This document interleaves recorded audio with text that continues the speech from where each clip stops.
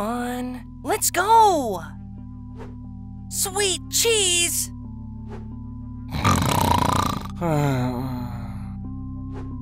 Nick? Nick! Nick, come on, wake up! We're off duty today. Nick, I have something important to say. Just text me, please. Nicholas, I'm serious! Okay, okay. Geez, when you call me Nicholas, it means that I'm in great danger. You bet! Hmm. May I take a shower and do other things before you ruin the rest of my day? Yes, it'd be good, I think.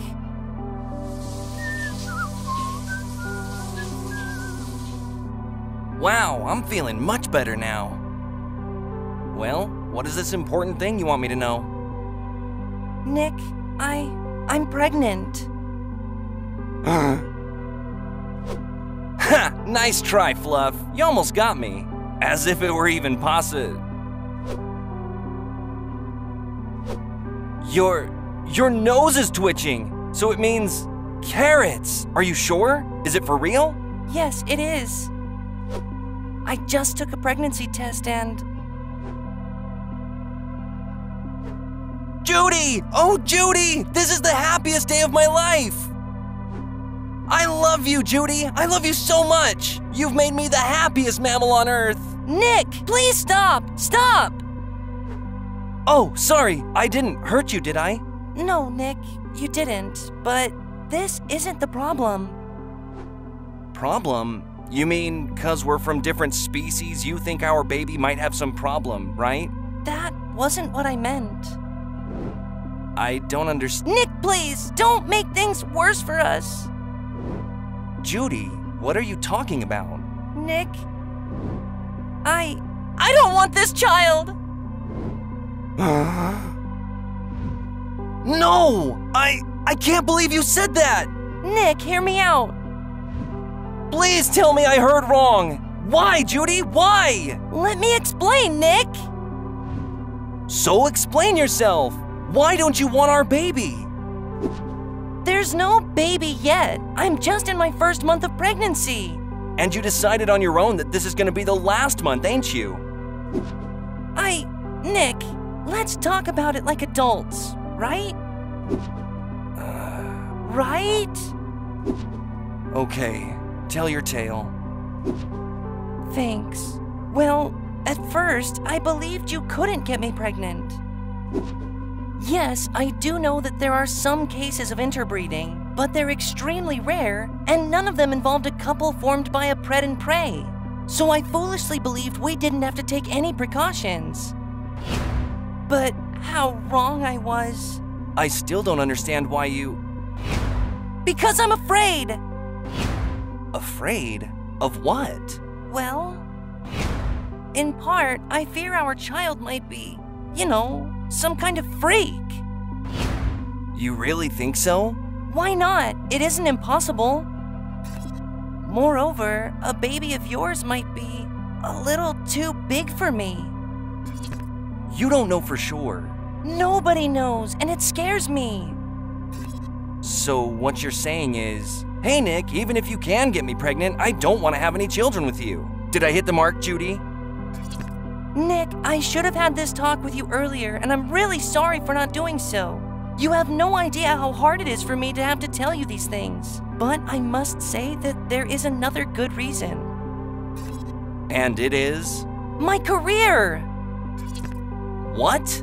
You know I'm about to be promoted to lieutenant, and if I accept this risky pregnancy, my career will be halted for months, or years, or even forever in the worst case scenario if I suffer any sequela or an ill fated pregnancy. It's not only my life and my career that are in danger here, Nick. I became a symbol, an inspiration to those small mammals out there who also want to help make Zootopia a better place to live.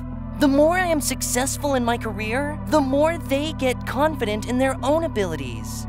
For this cause and to make this dream come true, I did my best and sacrificed many things. And I don't want to let these achievements slip through my fingers like sand.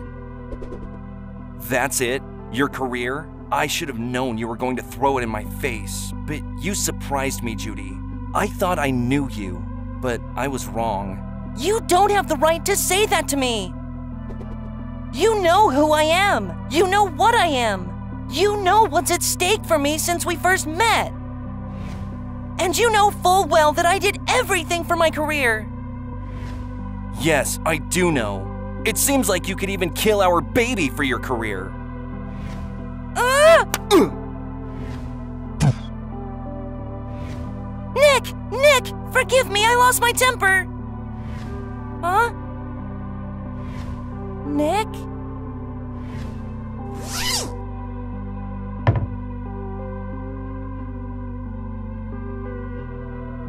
Nick, I beg you, please forgive me. You don't need to do that. I didn't want to hurt you.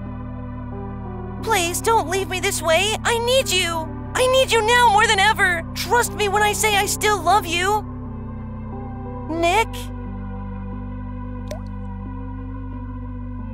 Judy, Um, what would have happened if your mother, while pregnant with you, had decided to interrupt her pregnancy?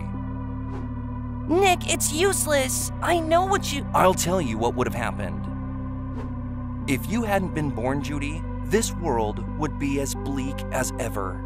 And without your light, I'd still be on the streets, living a meaningless life. That's not true, Nick. I'm sure you would. Judy, listen. There are people who make a difference in the world. And you are one of them. Even being a little bunny, you stopped an absurdly nasty conspiracy and helped change the minds and hearts of millions. To me, things like these could never ever have happened without you. Nick. For God's sake, Judy, give this unborn child the opportunity to do the same. I beg you, please let your light continue to shine through him or her. No. As I said before, it's useless. Sorry, Nick, but I've made up my mind. My body, my rules. I see. Any chance you might change your mind? No, Nick. Neither will I. Nick, don't go away! Please stay with me! Let's talk this over! Do you want to talk? Well, there's something I'd like to know. Why didn't you keep it a secret from me? I mean, why didn't you just get rid of our child without me knowing anything? It it wouldn't be the most honest thing to do. What? I thought you deserved to know. Huh. It'd have been better for you, for us, if you had kept me in the dark about your premeditated sin. Goodbye, Judy. Nick! Where are you going? Don't worry, I will survive. Nick, if you walk out that door, you don't have to come back anymore!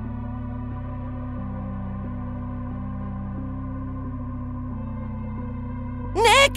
Nick! No, no, no!